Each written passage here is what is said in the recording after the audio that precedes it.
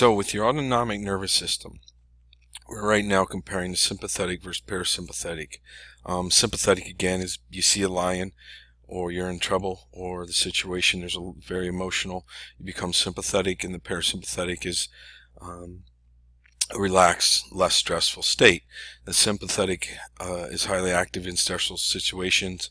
Obviously you have an increased heart rate. Um, excessive leads to some opt uh, excessive sympathetic um, state leads to suboptimal optimal decision making and slash performance. Um, it is vital in controlling the responses and maintaining your composure. Okay, this can be controlled through proper training, uh, stress inoculation in regards to situations and other forms of um, things such as breathing and more powerful breath, a more mechanically effective breath in regards to your RPR uh, breathing reset. So to heighten, heighten this graph here, what takes place is your normal resting heart rate, and then um, as you as you get more stressful and your practice goes up or the situation increases, your your fine motor skills around this area can start to deteriorate. Now this can creep up even higher into a highly advanced uh, uh, human, but but regardless, these these the uh, the windows start to run out um, for optimal survival and combat performance. Um, this is your zone 120 to 145 uh, visual reaction time, cognitive reaction. Okay. Um, then eventually your complex motor skills deteriorate. So your efficiency then is decreased. Uh, you can't run as fast and you are uh, not as coordinated to say the least. Now, um, your heart rate gets into 170, 175. Cognitive processing deteriorates, loss of peripheral vision. You start to become tunnel vision. Um, depth perception, loss of uh, near vision. Um, you know, anything here uh, up here is decision making. You're really just running away from the stress.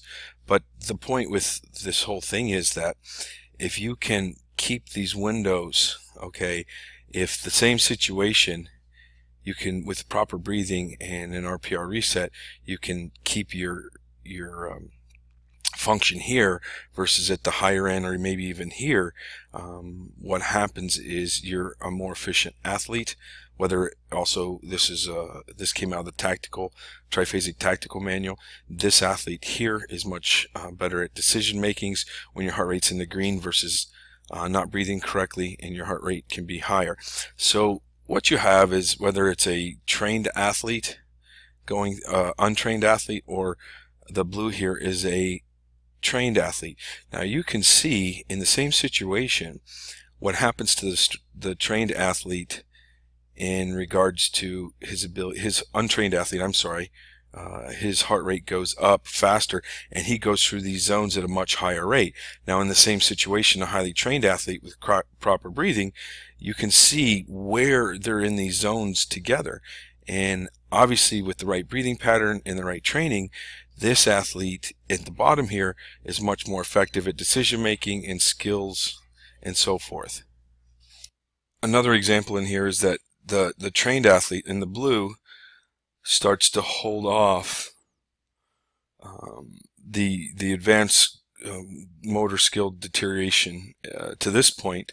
Let's say, and this is a just a test where the other athlete lost his skills literally two minutes prior to that. So you have to realize that by using these breathing patterns resetting the reflexes within those in the function of breathing, this is what transpires, and these are the things that can separate you um, from performing, making the right decisions, and actually just being less stressed because the, the blue athlete here is able to handle more workouts and repeat them versus this athlete would not be able to repeat as often in the frequency.